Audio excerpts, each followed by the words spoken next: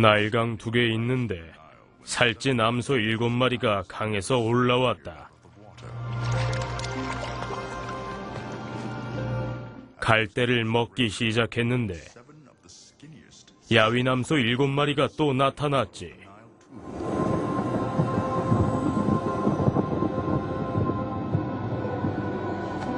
그런데 야윈 소들이 살찐 소들을 먹어치웠어.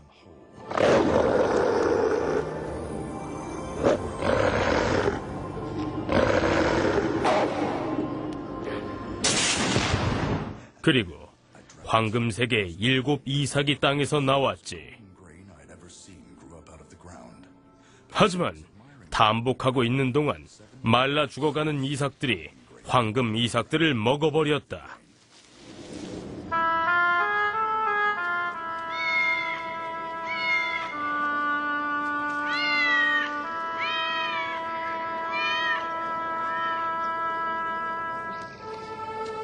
폐하, 두 꿈은 같은 의미를 갖고 있습니다. 하나님이 할 일을 보여주신 거죠. 일곱 마리의 살찐 소들과 일곱 개의 황금색 이삭은 7년의 대풍년을 뜻하고 야윈 소와 죽어가는 이삭은 흉년을 의미하는 겁니다.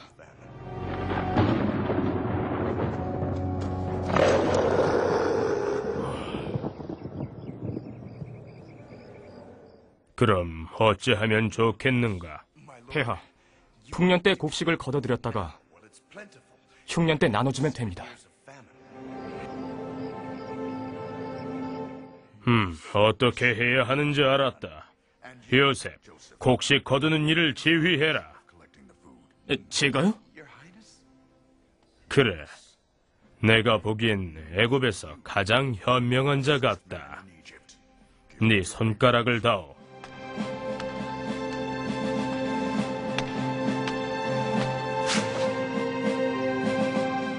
이 반지는 애굽의 총리로 임명받았다는 증거로 이제 나 다음으로 권력이 있다. 영광이옵니다.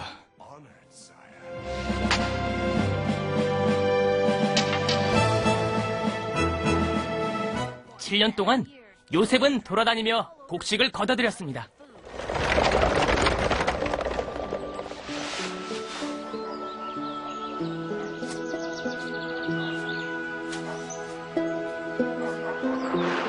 그 후 기근이 들었지만 애굽인들은 굶지 않았습니다. 하지만 가나안 땅엔 굶는 사람들이 많았습니다. 해굽으로 가서 양식을 사와라. 그것만이 살 길이다. 베냐민만 두고 가거라.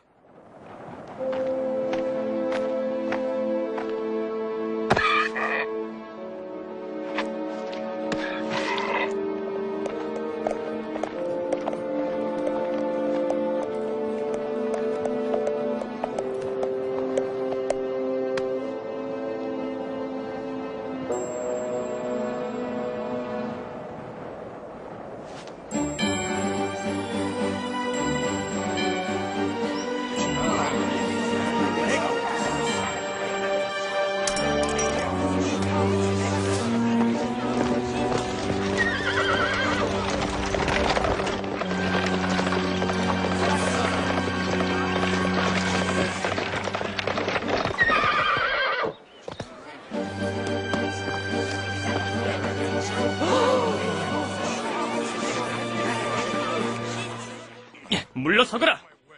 저들이 누군지 알고 있다. 아, 형님들이잖아. 오랜 세월 뒤에 웬일일까? 낯선 자들 같은데 무슨 일로 왔느냐? 곡식을 사러 왔습니다. 백성들이 굶어 죽어갑니다. 첩자가 아닌지 어떻게 알지? 첩자가 아니라 착한 사람들입니다. 맹세합니다. 어떻게 증명하면 될까요? 형제가 더 있느냐?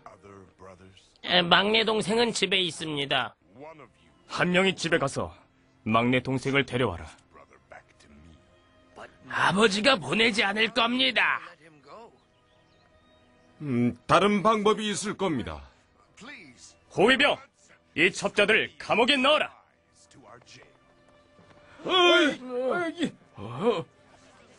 아, 우린 첩자가 아닙니다.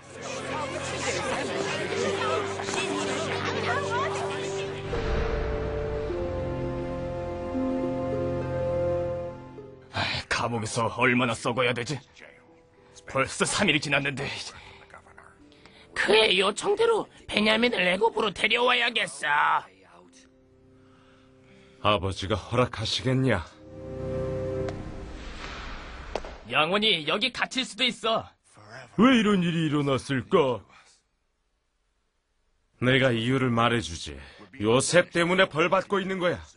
요셉이 무슨 상관이 있어? 무슨 생각으로 노예로 팔았지? 아버지 가슴을 찢어지게 하고 하나님의 분노를 산 거야.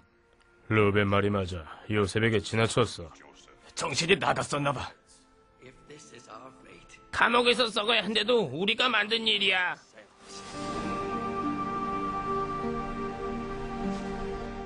생각한 끝에 두 번째 기회를 주기로 했다. 막내 동생을 데려온다면 너희를 석방해 주겠다.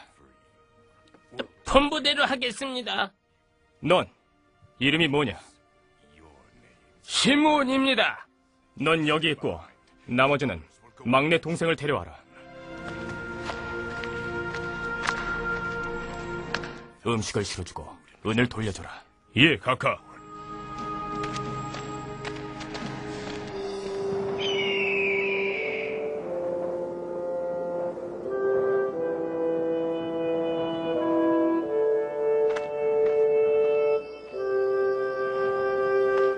아버지, 베냐민을 애굽에 데려가야겠습니다. 이것 봐. 누가 은을 돌려줬어. 정말이야? 하나님이 도우신 거야. 왜 일이 잘못돼 가는 걸까? 아버지, 베냐민을 꼭 데려오겠습니다. 그 애를 데려오지 못하면 제 아들 둘을 드리겠어요. 난 모험하고 싶지 않다. 이미 요셉을 잃었는데.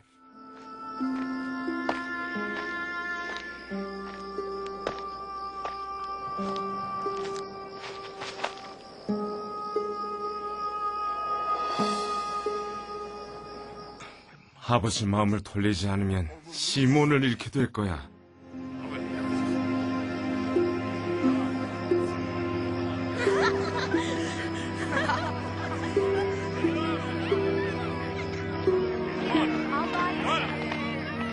아버지, 베냐민을 애굽으로 데려가야 합니다. 시몬을 생각해 보세요. 애굽에 도움이 필요해요. 곡식은 그곳밖에 없어요.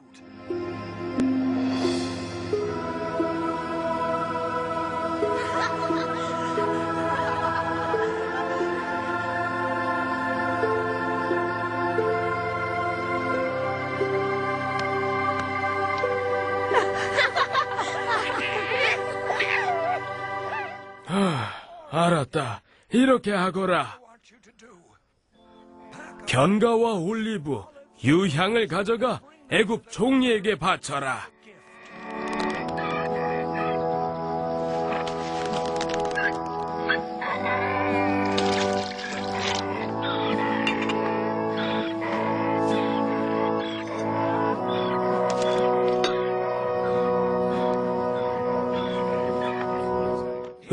두 배로 가져가거라. 먼저 받은 은을 돌려주고 나머지로 곡식을 사고 베냐민에게 탈이 없도록 해. 아니면 난 죽어버릴 거야.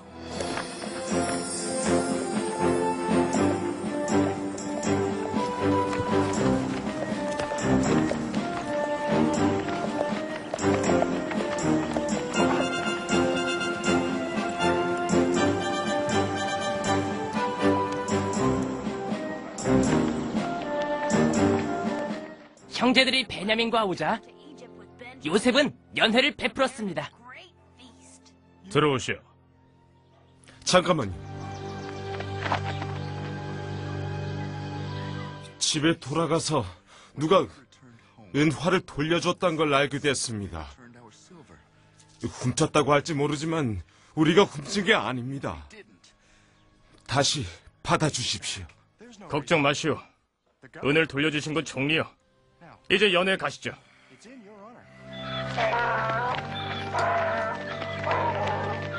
형제들!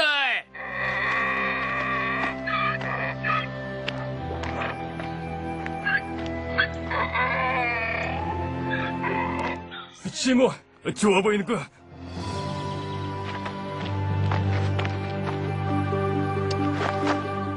부하들이 정중하게 대해주던가요? 네, 정말 감사합니다. 당신 아버지 얘기를 해주세요. 아직도 살아계신가요? 아주 정정하시죠? 고맙다고 선물을 보내셨습니다.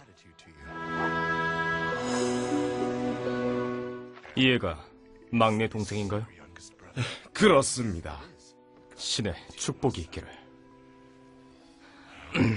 난 볼 일이 있어서 가봐야겠어. 실례요.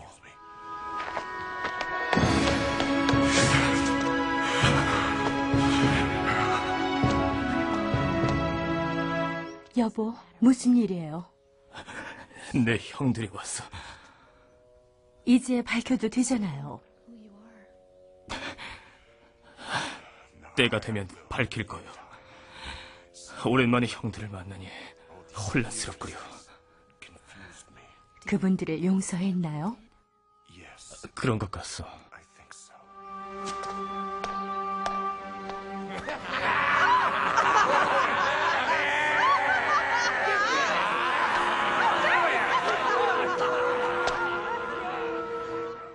음식을 대접해라. 성대한 연애였습니다. 요셉은 베냐민이 융숭한 대접을 받도록 했습니다.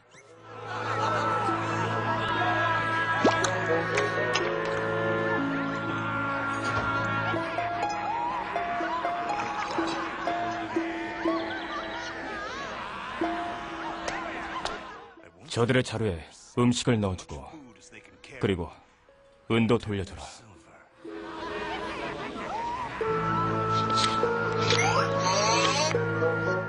그런 뒤에 내 은전을 막내 동생의 자루에 넣어라. 알겠습니다.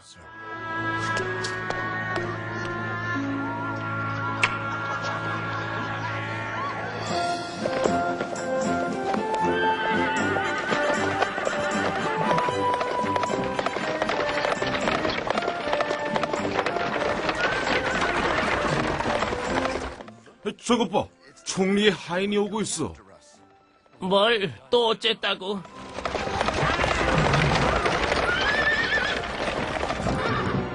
누가 총리의 은전을 훔쳐갔다.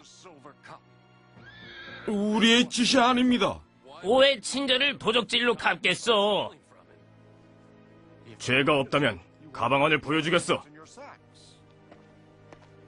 얼마든지 보시오.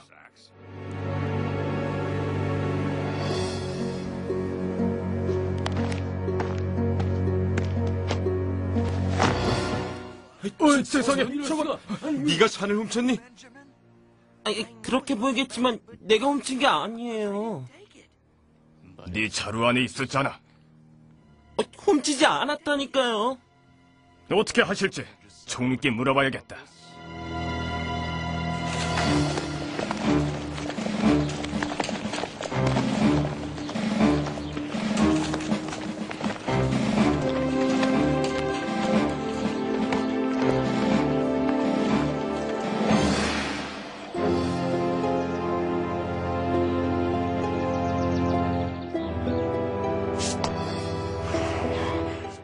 그렇게 잘 대해주었거늘 어찌 그럴 수가 있지? 어찌할지 모르겠습니다. 저- 잘 해결할 방법이 없을까요? 도둑인 베냐민은 여기 남아 노예로 일하라. 나머진 가도 좋다. 어, 부탁입니다. 어, 베냐민을 두고 갈 수는 없습니다. 아버님 가슴이 찢어질 겁니다. 내가 왜 도둑에게 자비를 베풀어야 하지? 저흰 최선을 다했습니다. 은도 돌려드렸고 베냐민도 데려왔습니다. 막내 동생은 아버님의 희망입니다. 베냐민을 잃는다면 돌아가실 겁니다. 부탁드립니다. 자비를 베푸십시오.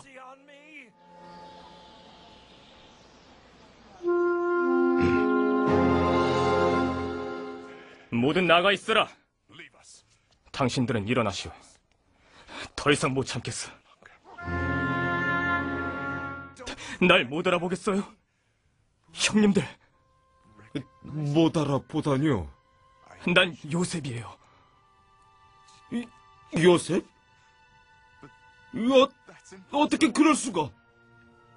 사실이에요. 형님들이 노예로 판 동생이에요.